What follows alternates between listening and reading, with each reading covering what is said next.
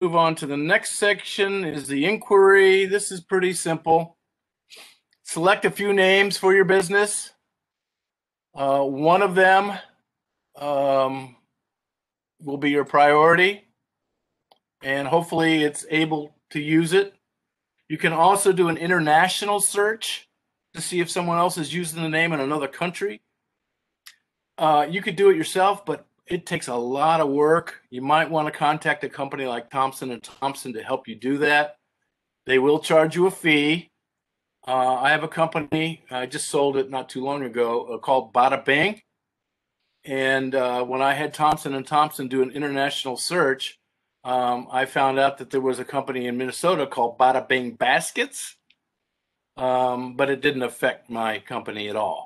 So um, something you might want to consider is Thomson and Thomson for what they might be able to help you with. For the state of Ohio, go to sos.state.oh.us, go to business services, check on the corporations, and then you can search your databases to find out if the name is available. If it says um, dead next to it, that means it's no longer in business. If it says canceled, obviously that means that they don't they're no longer in business. But if it says live, that means it's an active business. And if it's an active business, you have to be careful uh, of coming up with the same name.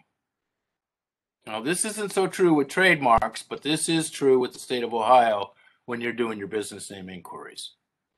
If no rows return, if it if nothing comes up, you do your search and nothing's there, that means no one has that name. Okay?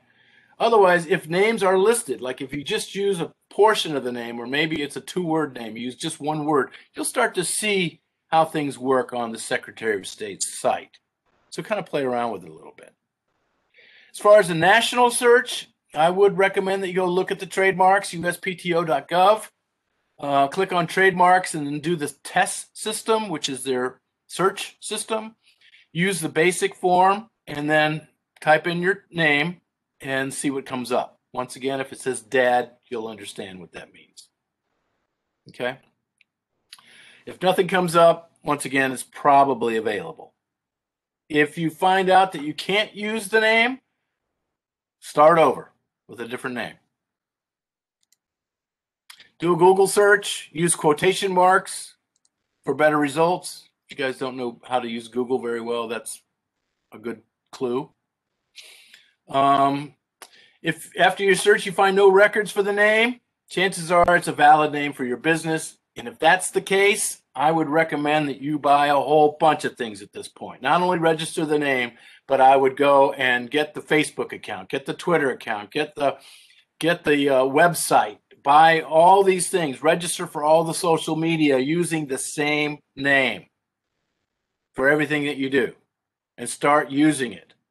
So all the social media sites, and there's hundreds of them out there, but you're going to want to at least register the name with MSN and Yahoo and Google and all these other things so that um, if anyone types it in, they'll be able to come to you because you own all those uh, social media sites and websites and so forth.